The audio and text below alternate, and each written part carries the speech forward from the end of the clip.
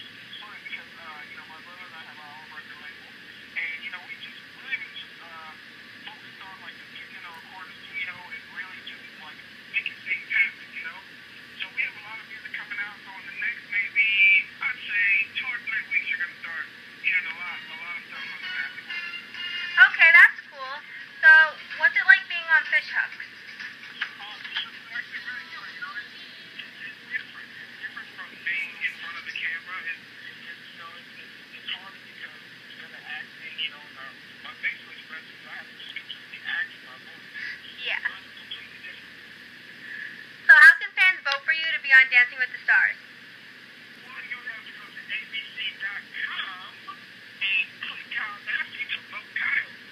That's cool. So is there anything you want... Okay, is there anything you want to say to your fans?